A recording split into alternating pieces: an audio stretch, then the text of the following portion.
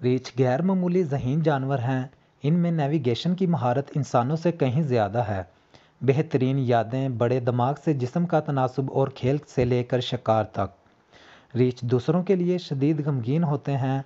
बच्चे अपनी माओ से अलग होने पर रोने और रोने के लिए जाने जाते हैं। ये काम हफ्तों तक जारी रह सकता है, अगर इनकी माएँ शिकारियों के हाथों मारी जाएँ। रीछों में सूंघने, देखने और सुनने की हिस्स बेहतरीन होती है। वो मीलों दूर से खाने, बच्चों, साथी या शिकारियों को सूंघ सकते हैं। इनकी बड़ी बेनाई इन्हें ये पता लगाने की इजाज़त देती है कि फल कब तक पक जाएँगे। एशियाई रिच की कुछ नस्लें दरख्तों में घोंसले बनाती हैं। वो इनको छुपाने और सूंघने के लिए भी इस्तेमाल कर सकते हैं। रीच ख़ानदान के अफराद का बहुत ख्याल रखते हैं।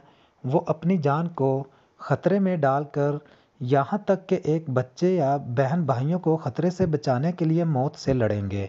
रीच और इंसानी सकाफ़त की बात की जाए, कई इब्तदाई तहजीबों की सकाफ़तों में रीच को अक्सर इज़्ज़त दी जाती थी। इन्हें ताकत और मोहब्बत की अलामत के तौर पर समझा जाता था। रीच रूस और जर्मनी के लिए एक मुश्तरका कौमी शख्सियत है। भूरा रीछ फिनलैंड का कौमी जानवर है।